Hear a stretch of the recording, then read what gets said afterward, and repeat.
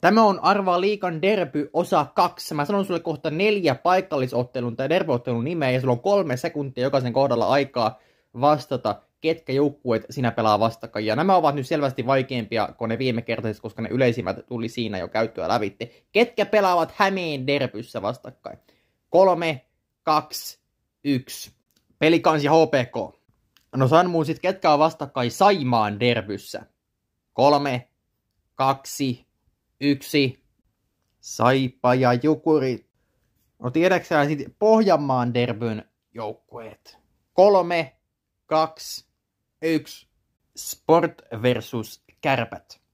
Ja sitten tulee hulvato haaste. Ketkä on vastakkain? Mikä se edes oli? Päijänteen derbyssä. Kolme, kaksi, yksi. Jyppi ja pelikkaans, mutta en ristiinnauleta teikäläistä, jos et tiedä, mitä mä itse keksin äsken koko derbyn, koska Päijän